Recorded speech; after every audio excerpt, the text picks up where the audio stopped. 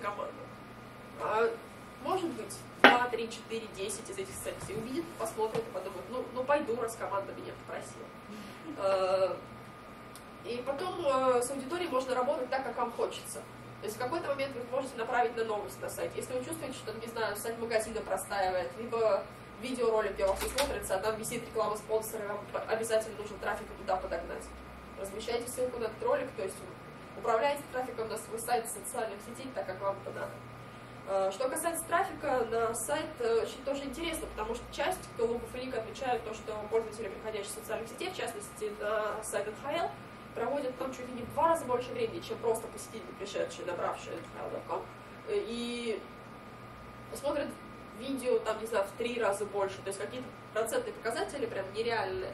Э, то есть люди из социальных сетей как-то себя на сайте проявляют по-другому, гораздо лучше, они гораздо выгоднее получаются, чем просто пользоваться.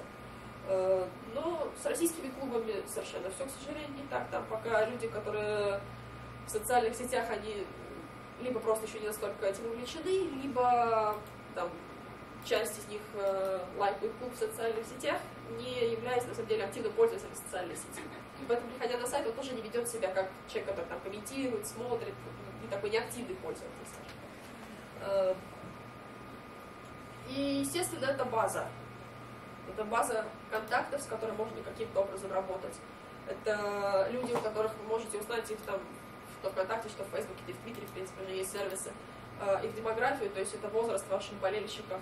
То есть какая-то средняя выборка, да, конечно, это может быть, там, не знаю, 5-10% от всей истории болельщиков клуба, может быть, самый 50%. Но это все равно уже достаточная выборка для того, чтобы посмотреть, какого они возраста, какого они пола. Может быть, там в какой-то момент видите, что увеличение там женской аудитории, значит, вот надо больше выпустить что женской атрибутики и так далее. С возможностью отслеживать и демографические параметры аудитории.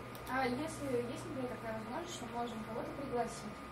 Да, конечно. То есть вот человек сидит, представитель клуба, например, присутствует такой, да, Да. например, службы. он видит, что один человек очень активно участвует, не понимает, он же может пригласить его, например, на работу.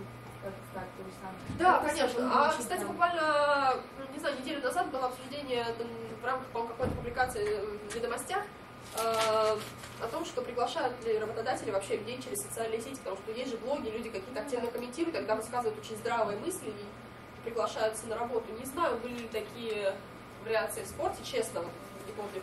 Единственное, что была история, был некий репортер, которого уволили с какого-то канала, и его сын замечательный э, создал ему YouTube аккаунт и создал ролик о том, о его работе, о том, как ему важно сейчас найти новую работу и как ему важно дальше продолжить карьеру, какой он вообще крутой. Ролик получился потрясающий, мальчик молодой, очень талантливый. Э, Ролик получил там миллиарды просмотров, э, по-моему, пару-то его взяли. Но была речь о том, как во всех публикациях еще находится ролик о том, что и мальчика, скорее всего, куда-то с такими возможностями с такой доброй душой тоже куда-то возьмут. Э, Естественно, болельщики очень часто высказывают очень здравые мысли о том, как можно дальше развиваться.